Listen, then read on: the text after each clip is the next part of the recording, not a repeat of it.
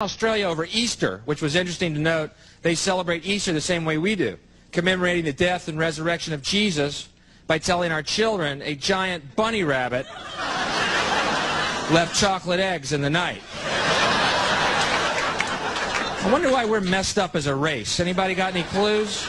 I've read the Bible. Can't find the word bunny or chocolate anywhere in the book. Why those two things? Why not, you know, goldfish left Lincoln logs in your sock drawer? You know, just making stuff up, go hog wild. But I think it's interesting to note how people act on religious beliefs. You know what I mean? Like a lot of Christians wear crosses around their necks. Nice sentiment. But you think when Jesus comes back, he's really going to want to look at a cross? Ow. That may be why he hasn't shown up yet. Going, man, they're still wearing crosses, Dad. I'm not going. No. They totally missed the point. I'm not going. Forget it.